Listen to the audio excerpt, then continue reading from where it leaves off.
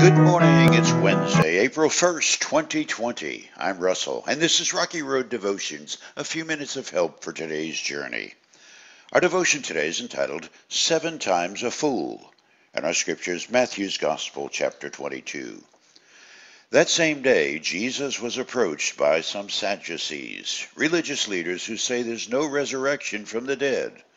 They posed this question Teacher, Moses said if a man dies without children, his brother should marry the widow and have a child who will carry on the brother's name. Well, suppose there were seven brothers. The oldest one married and then died without children, so his brother married the widow. But the second brother also died, and the third brother married her. This continued with all seven of them. Last of all, the woman also died. So tell us, whose wife will she be in the resurrection? For all seven were married to her. Jesus replied, Your mistake is that you don't know the Scriptures, and you don't know the power of God. For when the dead rise, they will neither marry nor be given in marriage. In this respect, they will be like the angels in heaven. But now, as to whether there will be a resurrection of the dead, haven't you ever read about this in the Scriptures?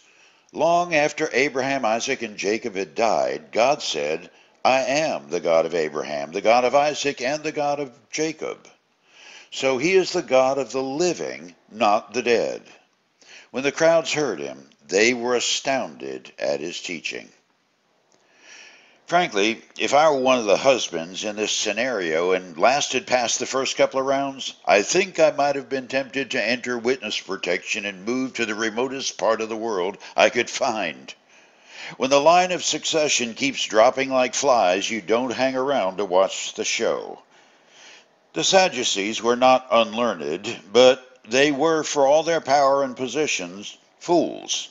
They were a perfect portrait of an April Fool's Day joke gone bad. Jesus told the Sadducees their argument was non sequitur, their logic was disconnected from truth, and they hadn't really understood the Scripture, which was vital for governance among God's people. On top of that, and worse, they hadn't considered the power of God. They were too steeped in keeping their places of human power. Jesus didn't just insult the Sadducees and walk away. Using Holy Scripture, which the Sadducees had been charged to live by, he opened their minds to the reality of eternity. He showed them that marriage on earth, as sacred as it is, but foreshadows relationship in heaven. The I am of eternity, Almighty God, the always living one, transcends all, especially the childhood playground of earthly wisdom. Jesus was teaching the Sadducees to forsake their little rules keeping mindset and give way to the power of God to lift them over the horizon of their spiritual blindness. That Jesus did this in front of the crowds of onlookers may have seemed like an insult to the proud Sadducees.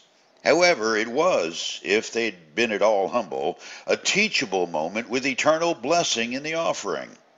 But the Sadducees hadn't come to Jesus with honest hearts.